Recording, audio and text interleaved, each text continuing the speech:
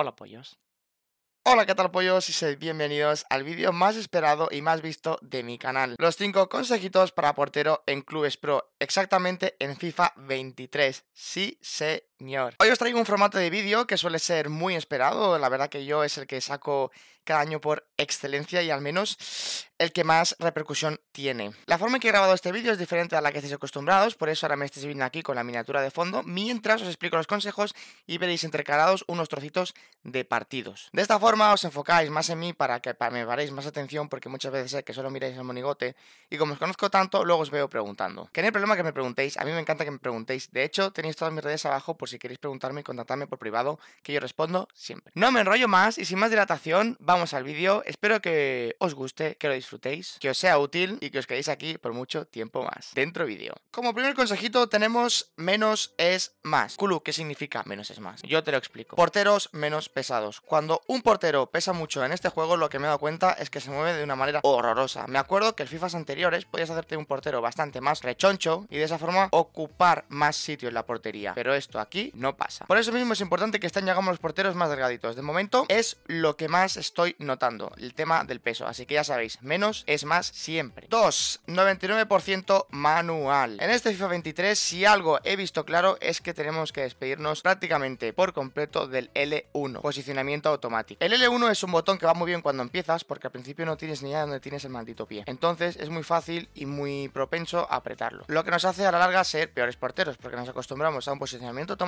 que recordar, lo único que hace a fin de cuentas es transformarnos en bots. Así que lo que yo recomiendo básicamente es dejar de soltarlo, empezar a soltarlo, mejor dicho, y sobre todo apretar el L2, que es el botón de bregar para estar a la guardia. No sé si servirá de algo ciertamente, pero a mí me gusta, me he acostumbrado. Así que ya sabéis, menos L1 y más manual, que cuanto antes aprendéis a manejar eso, antes llegaréis al top. Hago un pequeño inciso, un pequeño paréntesis, y es que este año voy a hacer unos episodios de una serie que os va a gustar bastante, os diré por qué. La serie constará de subir builds completas de portero, es decir, su altura, su peso, sus habilidades, sus perks, etcétera, etcétera, etcétera. Subiré capítulos de los prototipos de porteros que a mí más me gustan y así lo haré todo de golpe. Así no tendré que subir 3 o 4 vídeos para decir solo las habilidades, 3 o 4 para los pesos y altura, 3 o 4 para los perks y viceversa. Cierro este pequeño inciso y vamos al tercer consejo. 3. Cuidado el palo corto otra vez. Si algo he notado es que este año el palo corto está muy, muy jodido. Los porteros este año en el palo corto, si el año pasado ya jodían, este más. Parece que el agujero del palo corto sea algo completamente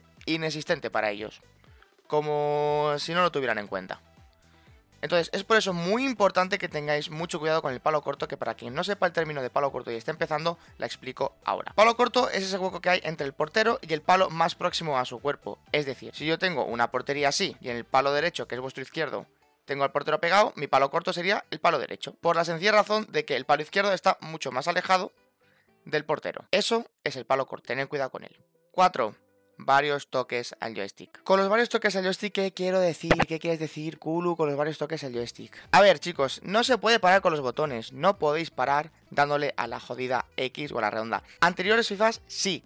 Este y el anterior, no. El joystick es el botón que vamos a usar para tirarnos, para lanzarnos, para aventarnos como lo queréis llamar. Lo que significa que no solo tenéis que conformaros con darle un toque, tenéis que darle varios toques, eso sí, cuando sepáis que vais a tiraros. Porque si le dais varios toques sin que os chuten, lo más seguro es que os haga una típica cantada de FIFA. Así que ya sabéis, cuando tengáis decidido para qué lado os vais a tirar o qué hacer en todo momento, sobre todo, darle muy bien al joystick. Ser pesados, insistentes y sobre todo cansinos. Porque de esa forma yo creo, o a mi parecer, bajo mi experiencia, te aseguras un mayor índice de paradas, con ello un mayor éxito. Número 5. Porteros muy altos. Lo que quiero decir con muy altos es que os los pongáis muy altos. Me explico. Cuanto más alto un portero suele ser menos hábil, pero en este FIFA tapa más. Si algo he notado, por ejemplo, en modo carrera, que si no habéis visto de los capítulos no sé qué esperáis porque llevo los tres primeros y Rufino está jodidamente on fire, es que cuanto más alto me he hecho al portero, más fácil lo he tenido para realizar paradas más complicadas. Sí que es cierto que es un palo, porque ya sabes, ¿no? Alto como un pino, bueno,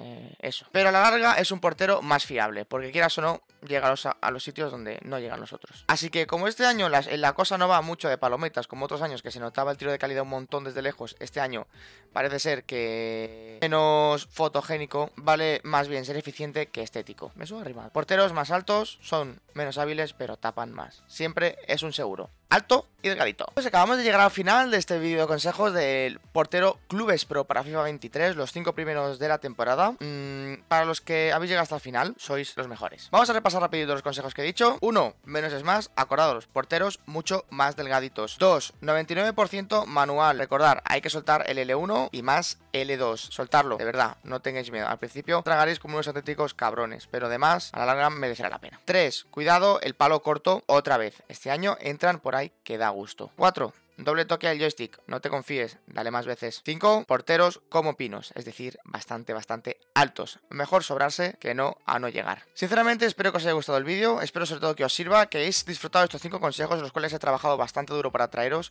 porque recordad que el FIFA salió hace escasos 7 días para mi plataforma que viene siendo ordenador, Origin. Y trabajando y estudiando, créeme que no hay mucho más margen de mejora. Entonces, lo poco que tengo lo he querido dedicar a esto y quería traeros este vídeo lo antes posible para que empecéis el FIFA de la mejor manera posible. Recordar, estos son unos consejos de vida si queréis sobrevivir y sobre todo si queréis evitar algún tipo de enfermedad mental. Tener paciencia, no os cabréis, aprended del error y sobre todo disfrutar. Yo soy Kulu, estos son los 5 consejos para portero de clubes pro, pero que os hayan servido, nos vemos a la próxima. Chao, chao.